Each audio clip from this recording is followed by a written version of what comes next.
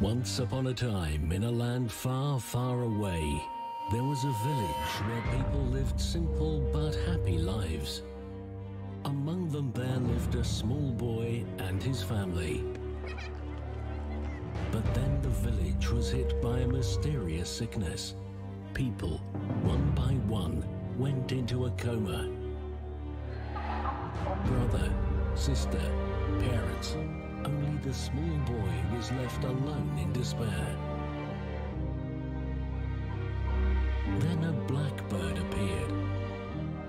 It was a magical bird, and it told the story about Lady Death, who could stop the disease and even bring people back to life.